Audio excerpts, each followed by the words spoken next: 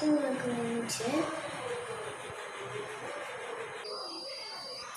friends welcome to Eswari சமையல் நம்ம எல்லாம் அன்பும் ஆரோக்கியம் பெருகிட இறைவனை பிரார்த்திப்போம். இன்னைக்கு நம்ம ஈஸ்வரி சமையலில் இடியாப்பம் வந்து வெஜிடபிள்ஸ் எல்லாம் சேர்த்து ஒரு சுவையாக தாளித்து எடுக்க போகிறோங்க இந்த ரெசிபி செய்யறதுக்கு முன்னாடி நம்ம ஈஸ்வரி சமையல் சேனலை சப்ஸ்கிரைப் பண்ணிக்கோங்க. கூடவே இருக்கிற பெல் சிம்பிளையும் கிளிக் பண்ணிக்கோங்க.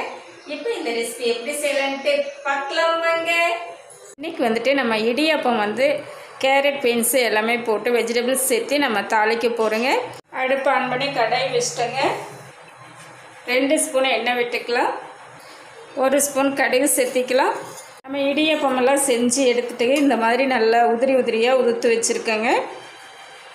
இந்த இடியாப்பம் வந்து நம்ம சேவை மாதிரி எல்லாம் தாளித்து சாப்பிட்ருப்போம் சட்னி குழம்பு இந்த மாதிரியெல்லாம் வச்சு சாப்பிட்ருப்போங்க. இப்போ இந்த மாதிரி நம்ம வெஜிடபிள்ஸ் போட்டு செஞ்சு சாப்பிடும்போது டேஸ்ட் வந்து ரொம்பவே நல்ல ஒரு வித்தியாசமான டேஸ்ட்லாம் நல்லா இருக்குங்க.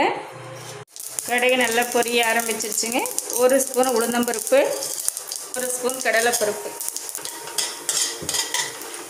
பொன்னிடமாக வறுபடட்டுங்க. ஒரு பெரிய வெங்காயம் ரெண்டு பச்சை மிளகாய் பொடியை கட் பண்ணி வச்சுருக்கேங்க. சேர்த்திக்கலாம். கறிவேப்பிலை சேர்த்திக்கலாம். ஒரு ஸ்பூன் அளவு இஞ்சி வந்து பொடியை கட் பண்ணி வச்சுருக்கேங்க. சேர்த்திக்கலாம். கலந்து விட்டுறலாங்க. வெங்காயம் பச்சை மிளகாய் எல்லாமே நல்லா வதங்கிடுச்சுங்க. ஒரு கேரட் அஞ்சு பீன்ஸ் வந்து பொடியாக கட் பண்ணி வச்சுருக்கேங்க. சேர்த்திக்கலாம். இதுக்கு வந்து எல்லாமே பொடியாக கட் பண்ணணுங்க.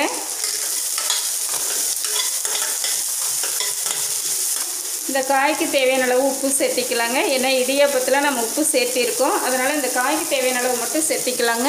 இப்போ வந்து மீடியமாக வச்சுட்டு இது நல்லா ஒரு ரெண்டு நிமிஷம் நல்லா வதக்கி எடுத்துக்கலாங்க. கால் ஸ்பூன் மஞ்சத்தூள் கால் ஸ்பூன் மிளகாய்த்தூள்.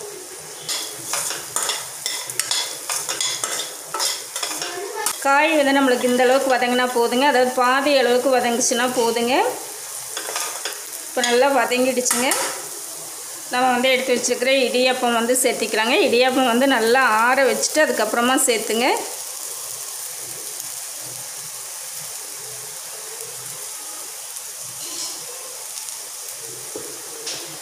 அடுப்பு வந்து ரொம்பவே குறைச்சி வச்சுக்கோங்க. நான் வந்து இதில் ஒரு அரை எலுமிச்சம்பழம் வந்து புழிஞ்சு வச்சுருக்கேங்க.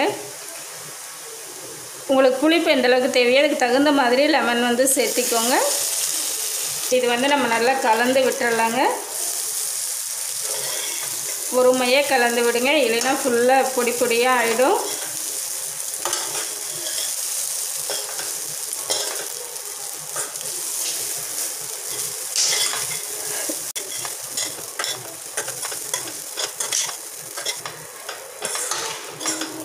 மல்லி இலையும் கறிவேப்பிலையும் பொடியை கட் பண்ணி வச்சுருக்கேங்க.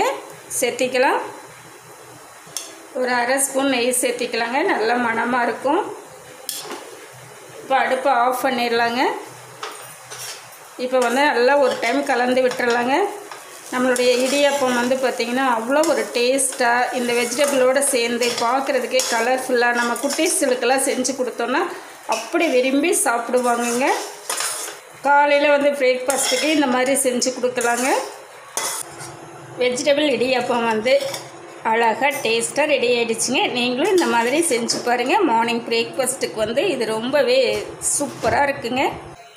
என்னங்க நான் செஞ்ச இந்த இடியாப்பம் வந்து உங்களுக்கு ரொம்பவே பிடிச்சிருக்குன்னு நினைக்கிறேங்க. இந்த மாதிரி நீங்களும் செஞ்சு பாருங்கள் எப்படி இருக்குன்ட்டு கமெண்ட் பண்ணி லைக் பண்ணி ஷேர் பண்ணுங்கள் நம்ம ஈஸ்வரி சமையலும் சப்ஸ்கிரைப் பண்ணிக்கோங்க. கூடவே இருக்கிற பெல் சிம்பிளையும் கிளிக் பண்ணிக்கோங்க. தேங்க்ஸ் ஃபார் வாட்சிங்